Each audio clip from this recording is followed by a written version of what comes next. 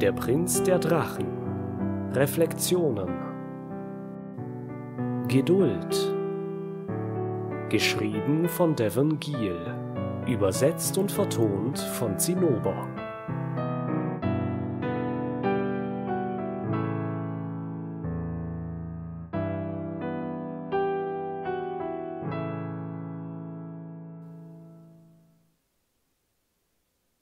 Lasst mich euch eine Geschichte erzählen.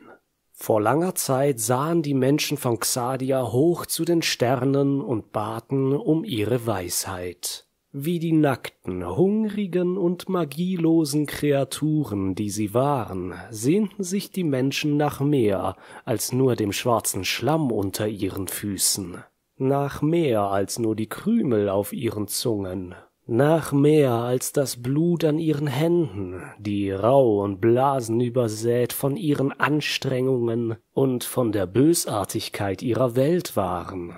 Sie wandten ihre Blicke gen Himmel, sie streckten ihre Hände nach oben, und die Himmel gewährten den Menschen ihre erste Lektion.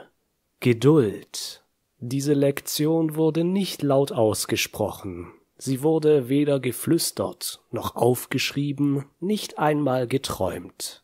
Sie wurde im Stillen gelehrt, in Abwesenheit, denn die Sterne, kalt und weit entfernt in ihrer Dunkelheit, sagten nichts. Sie blinzelten nur, als würden sie ihre Geheimnisse alleine hinter einem feixen und versiegelten Lippen verstecken. Also lernten die Menschen zu warten. Sie starrten in das dunkle Schwarz über sich und warteten geduldig darauf, dass die Sterne ihr Wissen, ihre Führung, ihr brillantes Licht mit ihnen teilten. Und dann, eines Tages, erhörten sie die Himmel, reichten ihnen eine Hand, segneten sie. Die Menschen freuten sich. Wir sind errettet, weinten sie. Die Sterne haben uns endlich geantwortet. Es war richtig, geduldig zu sein. Es war richtig zu warten. Sie glaubten, dass die Geheimnisse der Welt ihnen nun offen standen, um wie reife Früchte gepflückt zu werden. Sie glaubten, ihre Zeit war letztlich gekommen. Und auch wenn es dauern würde, denn der Kosmos arbeitet auf eine Weise, die sie bis jetzt noch nicht ergründen konnten, würden die Menschen große Städte bauen und große Feinde niederstrecken. Sie würden gedeihen, doch die Sterne bewahrten weiterhin ein Geheimnis, dass die erste Lektion, die Geduld, gar kein Geschenk von den Sternen selbst war. Es ist so, Geduld ist eine Lektion, die sich die Menschen selbst beibrachten.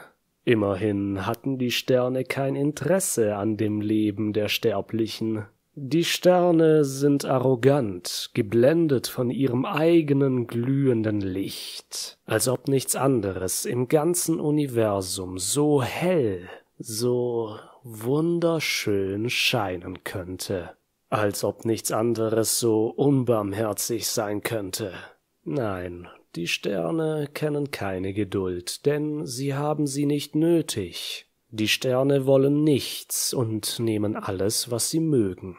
Sie brauchen keine Geduld, brauchen nicht zu warten. Aber ich, ich habe diese Lektion der Menschen erfahren.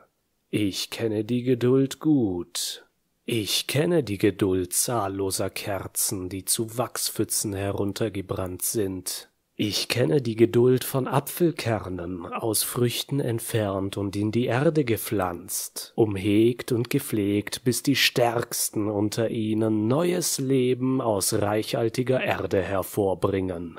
Ich kenne die Geduld eines gewebten Wandteppichs, wie der Weber das Schicksal jedes Fadens flechtet, selbst wenn sie in der Schönheit seines Musters verschwinden.